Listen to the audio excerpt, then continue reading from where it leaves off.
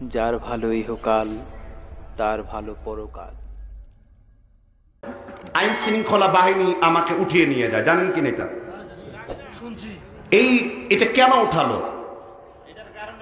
এটার এটার কারণ হলো আমাদের দেশে এক শ্রেণির কিছু ভণ্ড সিল সাপ্পর মরা পীর আছে যারা আমাদের আলেমদেরকে টার্গেট করে করে রাস্তার মধ্যে কয়েকদিন আগে আব্দুর রাজ্জাক বিন ইউসুফকে মেরেছে না? সেই গ্রুপের সদস্যরাই যখন হামলা করলে তাদের উপর ঝুল ঝুলুম আসবে তখন তারা প্রশাসনের কান ভারী করে দেওয়ার জন্য তারা সেই সমস্ত জায়গায় মিথ্যা তহমত লাগায় এরপরে আমাদেরকে উঠিয়ে নিয়ে যায় জিজ্ঞাসাবাদ করে এই এই বিষয় সম্পর্কে আপনাদের বিশ্বাস কি ধারণা কি? আমরা টপ টু বটম প্রত্যেকটা বিষয়ে খুলে খুলে তাদের কাছে বর্ণনা করি এবং শুক্রিয়া আদায় করতে হয় রসুল বলেছেন ইনিস করুল্লাহ করুন নাস। যে ব্যক্তি মানুষের শুকর আদায় করে না, সে আল্লাহর শুকর আদায় করে না। সর্বপ্রথম মুখলিস বিন আরশাদ মাদানি লাইভ অনুষ্ঠানে আসে। এরপরে আব্দুর রাজ্জাক বিন ইসুফের ছেলে আবদুল্লাহ বিন আব্দুর রাজ্জাক একটা লিখিত পোস্ট দেয় এবং বাংলাদেশের অন্তত কবর পূজারী, খানকা পূজারী কাপ পূজারী, এরা ছাড়া যত মুসলমান অন্তত যাদের তাওহিদ ক্লিয়ার আছে, প্রত্যেকেই আমার এই আমার এই দুই দিনে নিখোঁজদের ভিডিওটি প্রত্যেকে শেয়ার করেছে। শেয়ার করে এটা আন্দোলনে পরিণত হয়েছে। এমনও এলাকা থেকে ফোন এসেছে যে তারা বিগত দুই দিন মাগরীবের পর কুনোতে না দেওয়া পড়েছে। ফরিদপুরের মুসলিম মুসল্লিরা হাওমাও করে কান্না করেছে। আমি আমার এই সমস্ত দিনী ভাই যারা দিনী ফলোয়ার রয়েছেন, কত লক্ষ লক্ষ মানুষ আমাদের ফলো করে। আমি যদি এই মুসিবতের সম্মুখীন না হতাম, আমরা বুঝতাম না। কিন্তু ধন্যবাদ দিতে হবে প্রশাসনের ভাইদেরকে, যারা ন্যায়, নিরপেক্ষ, নির্ভরযোগ্য একটি বিচার ফয়সালা করেছেন, যে কাউকে অন্তত র্যাপিড অ্যাকশন ব্যাটালিয়নের একটি ভালো গুণ রয়েছে।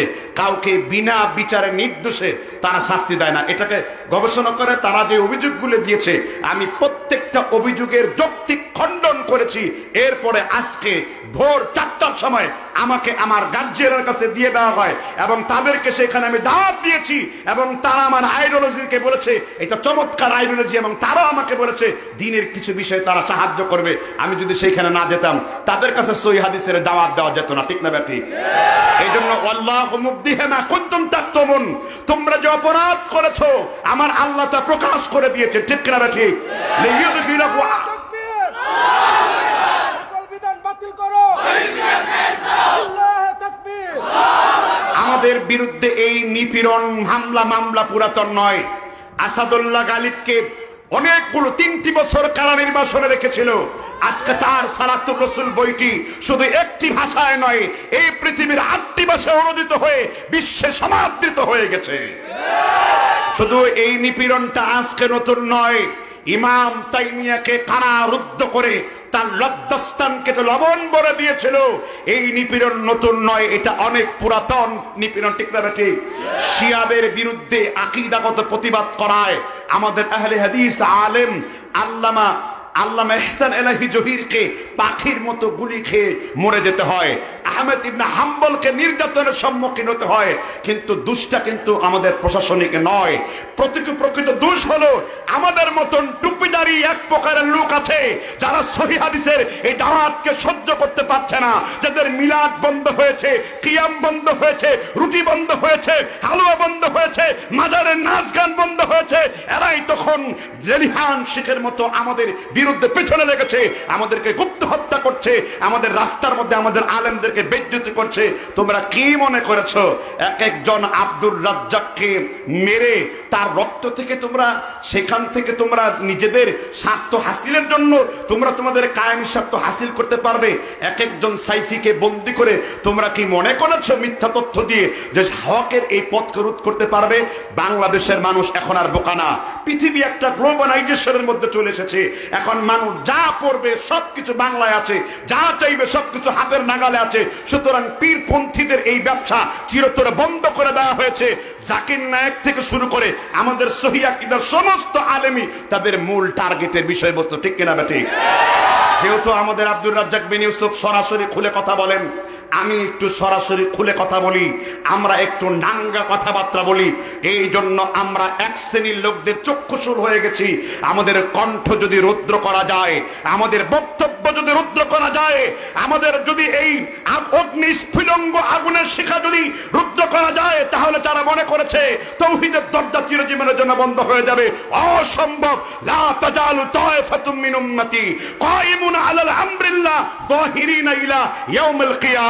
আল্লাহর নবী বলেছেন, কিয়ামত পর্যন্ত মুসলমান জাতির জন্য একটি দল থাকবে, যারা মানুষকে হকের দিকে আহ্বান করবে। ইমাম হাম্বল বলেছেন, এই দলটা হলো আসহাবিল হাদিস ও আইয়ু আহলিল হাদিস। এরা হলো আহলে হাদিস। লা ইয়ারিফুনা ইল্লাল হাদিস। তারা হাদিস কোনো কিছুকে পরিরক্ষা করে না। এজন্য দুই, চারজন সালাফি আলেমদেরকে রোধ করতে গেলে আমাদের এইভাবে যেমনি ভাবে আমার পাশে এসে এই সমস্ত আলেমরা দাঁড়িয়েছে তেমনি ভাবে শুধু আমি কেন, যদি আমাদের বিপরীতপন্থী কোনো আলেমের উপরেও এরকম জুলুম নিপরণ করা হয়, আমরা তবুও তাদের পাশে এসে দাঁড়াবো। কারণ আমাদেরকে সালাফরা শিখিয়েছে ভালো কাজে একজন আরেকজনকে সাহায্য করো। তোমরা মন্দের উত্তর ভালো দিয়ে দাও।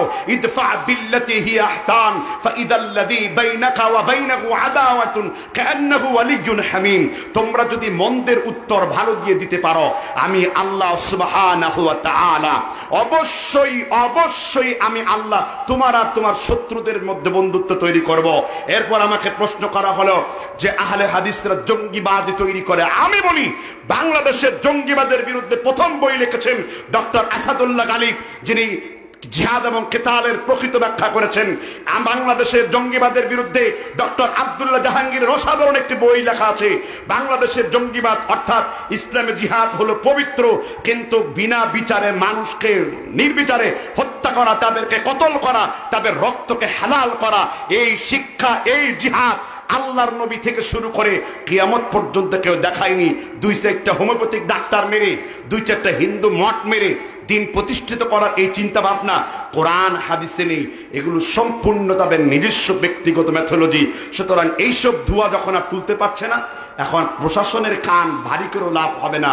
প্রশাসনের রন্ধে রন্ধে আমাকে যিনি গেলেন, ওখানে একজন এডিসি এসপি মানে র্যাবের ঊর্ধ্বতন কর্মকর্তা সুজিত, তিনি বলেছেন যে আমার অন্য কোনো বক্তার আলোচনা মজা লাগে না।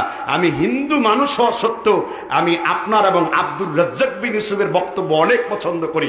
আমরা এই বক্তব্য করে সেখানে শুনি। আল্লাহ এই তো কোথায় পৌঁছে যাচ্ছে ইসলাম? আপনারা খেয়াল করতে পারছেন কিনা? আজকে কিচ্ছা কাহিনীর আওয়াজ বন্ধ হয়ে গেছে। আজকে ক্যাসেটি বাগারি বক্তাদের বক্তব্য বন্ধ হয়ে গেছে। এখন রাস্তার মোড়ে মোড়ে সব জায়গাতে মানুষ সহিহাদিসের পিছনে ছুটছে। সহিহাদিসের আলেমদের রুদ্র করার জন্যই আমাকে পরিকল্পিতভাবে বিদাতিরা এই কাজটি করেছে। কিন্তু তারা সফল কাম হইতে পারছে? তারা পারবে কোনোদিন সফল কাম হইতে?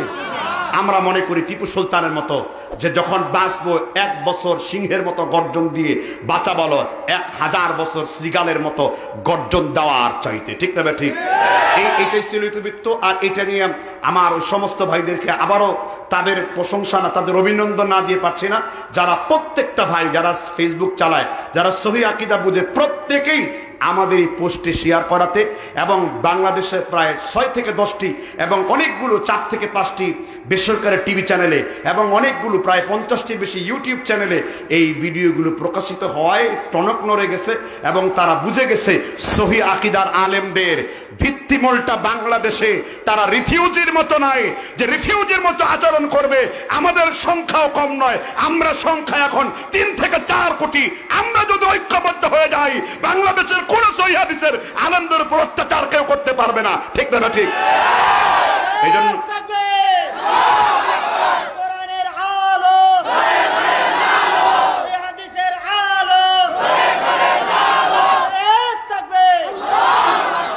এর জন্য তিনটি কর্মসূচি আমাদের পালন করতে হবে। নাম্বার চরমপন্থী মতবাদের উপর আমাদের লেখাপড়া করতে হবে। এবং আমাদেরকে উত্তম আদর্শপন্থী, যুগ উত্তীর্ণ ভাষায় দাওয়া শিখাতে হবে যুবকদেরকে। নাম্বার দুই, আমাদের নিজেদের মধ্যে ভাতৃঘাতী সংঘাত বন্ধ করতে হবে। দল হোক ঝাড় ঝাড় সালাফি মানহাসটা সবার। এটা আমাদের স্লোগান হওয়া উচিত। ঠিক না ঠিক? আমি কোন দলের ব্যানারে কাজ করি না দেখে আমার পিছনে দাঁড়ানো যাবে না। এই সংকীর্ণতা দূর করতে হবে। আমার মানহাজ যদি আহলে হাদিসে রয়ে থাকে, আমি আপনার দিনী ভাই আব্দুল্লাহ ইবনে মাসউদ ফতোয়া দিয়েছেন আল জামাআ মা ওয়াফাকাল হক ইন কুনতা ওয়াহদা। পৃথিবীর যে কোনো জায়গায় যদি তোমার কোনো ভাই সহি হাদিসের উপর আমল করে, সহি ইমানের উপর কায়েম থাকে, এই ব্যক্তিটা তোমার দিনী ভাই। আমরা দলকে সংগঠিত করার জন্য, দলকে ভারী করার জন্য সুবিন্যস্ত আহলে হাদিস আন্দোলন হতে পারে। জমিয়তে আহলে হাদিস হতে পারে, আহলে হাদিস জামাত হতে পারে, আমাদের আমাদের সিলেবাস এক একটা স্কুলে, দশটা স্কুলে দশ রকম হতে পারে, কিন্তু সিলেবাসের মূল বিষয়বস্তু কিন্তু একই আছে। আমাদের আকিদা মানহাজ কিন্তু আলাদা হয়ে যায়নি, আমাদের নেতৃত্ব ভিন্ন হতে পারে, কিন্তু আমাদের মানহাজ সবারই কি? এক আছে। এই জন্য নিজেদের ভাতৃগত দ্বন্দ্ব ভুলে গিয়ে আমরা যখন একজন আরেকজনের উপর আক্রমণ হবে, কথা হবে, আমরা ওই সমস্ত লোকদের মতো যেন সবাই একত্রিত হতে পারি, সেই আশা ব্যক্ত করছি। সকলে বলেন, আমেন। এটাকে সুন্দর নয় জুড়ে বলেন। জি। এই কথাটুকু গুরুত্বপূর্ণ ছিল। এই কথাটুকু আমি আপনাদের সামনে বলে দিলাম যে কি কারণে হচ্ছে। এই জন্য আরেকটা মেসেজ হলো যারা আমাদের সহি আকিদা দাওয়াত দেন অন্তত সেই সেই এলাকাটা সম্পর্কে ধারণা রাখা।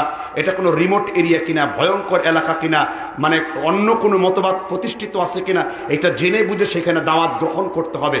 তা না হলে কিন্তু এই বিপদগুলো আমাদের উপর আসবে। কথা বুঝতে পারছেন কিনা? হুট করে মোবাইলে ফোন দিল আর আপনি ওয়াজের মাহফিলে চলে গেলেন। এটা একদম সতর্কবান ব্যক্তির কথা নয়। কথা বুঝতে পারছেন কিনা? ইদানিং কিন্তু তারা পরিকল্পনা করে আমাদেরকে মারার চেষ্টা করছে। যেই কাজগুলো একসময় শিয়া খারেজি গোষ্ঠীরা করত, এখন সেগুলো মাজারের কবর পূজারী খারেজি গোষ্ঠীরা করে। কথা কি বুঝতে পারছেন কিনা? লিঙ্ক কিন্তু ঠিকই আছে, শুধুমাত্র জামানার অবস্থার পরিপ্রেক্ষিতে নাম বদলায় আছে। অতীতের মাজারপন্থীরাও যেমন আমাদেরকে আমাদেরকে দাবায় রাখার চেষ্টা করেছে, বর্তমানরাও দাবায় রাখার চেষ্টা করেছে। দেখবেন আমাদেরকে যদি সারাদিন কেউ মাঝারি মাঝারি বলে, আমরা কেউ খেপি। আমরা করি না, তাই খেপি না। কিন্তু তাদের সামনে যদি মাজারে একটু সমালোচনা করি, আপনার গায়ে আগুন জ্বলুক আর না জ্বলুক, তার গায়ে আগুন জ্বলে যায়। নিজেই নিয়ে, কারণ তুমি তো মাজারি, এই জন্য তো মাজার পূজারি বলে তুমি চাপো। আমি তো মাজার পূজারি নয়, এই জন্য তো আমি খেপে যাই না। আমি তো তৌহিদ পূজারি, ইমানের কথা বললে আমার ইমান দেখা যায়। আর তুমি তো কবর পূজারি, মাজারের কথা বললে তুমি খালি সিন্নি দেখতে পাও, মাজার দেখতে পাও। ঠিক না ঠিক? আল্লাহ বলেছেন কত্তা বাইয়েনার রোসদ মিনাল গয়ি নির্ণয় করে দিয়েছি, ভালো আর মন্দ। নিঃসন্দেহে নির্ণয় হয়ে গেছে হক আর বাতিল। ফাওয়াকা আল হক আল্লাহ তালা বলেছেন যে নিঃসন্দেহে সমগ্র বাতিলের উপরে আমি আল্লাহ দিনে হককে বিজয় করেছি। তোমরা বাতিলকে, তোমরা হককে বাতিল দ্বারা কি করো না? তোমরা ঢেকে রেখো না, গোপন করো না। কারণ সত্য সত্য, মিথ্যা মিথ্যা। যা আল হক, ওয়া জাহুকাল বাতিল। ইন্নাল বাতিল কানা জাহুকা এসেছে সত্য, চলে গেছে মিথ্যা। নিশ্চয়ই মিথ্যা হলো মিথ্যা। সত্যকে কখনো মিথ্যা দ্বারা ঢেকে দেওয়া যায় না। সত্য সত্যই মিথ্যা মিথ্যা। আলাল কাযিবিন। আর মিথ্যুকদের উপর কার গজব? আর এই জন্য এদের গজব পড়ছে। এই জন্য তারা খেপে গেছে। বুঝেন না? চরমানায়ের বিরুদ্ধে যখনই আমি একটি প্রতিবাদ করলাম, তখনই আমার উপর এই অবস্থা হয়েছে। বুঝতে পারছেন তো ইশারাটা কোন জায়গা থেকে আসছে? কারা এই কাজগুলো করতে পারে? তবুও আমরা চরমনাই যারা ভাই আছেন তাদের হেদায়ত কামনা করি, তাদেরকে আমরা ভাই মনে করি, তবে অনেক বিদাত করে, এটার জন্য তাদেরকে দাওয়াত দেই, কারণ আপনারা আমাদের পাথর মারবেন, আমরা আপনাদের পাথর মানব না। ঠিক না ঠিক? কারণ আপনারা সেই কাজ করতে পারেন, আপনাদের শিক্ষা এরকম। আপনারা আমাদেরকে মানার জন্য আসবেন, আমরা আমাদের মাথা পেতে দেব। কারণ আমরা আপনাদেরকে এখনও মনে করি, সংশোধন হওয়ার অনেক রাস্তা আছে। কিন্তু কুফরি এবং শিরকের জাহাজে চড়ে নিজের ব্যবসাটা ভালো জমজমাট করে বাইন মাসের শরীর কোপাইতে কোপাইতে তারপরে মানুষকে সেই দিকে দাওয়াত দিয়ে এই সমস্ত কেচ্ছা কাহিনী মানুষ আর নেয় না। এখন আমাদের আলেমদের অকথ্য গালি গালিগালাজ দিচ্ছে। এজন্য জন্য সতর্ক থাকুন। এই আকিদাগুলো যেন আমাদের সহিয়া হাদিসের অধ্যুষিত এলাকাগুলোতে প্রবেশ না করে। কথা বুঝতে পারছেন কিনা? মহান আল্লাহ আমাদের বুঝবার তৌফিক দান করুন।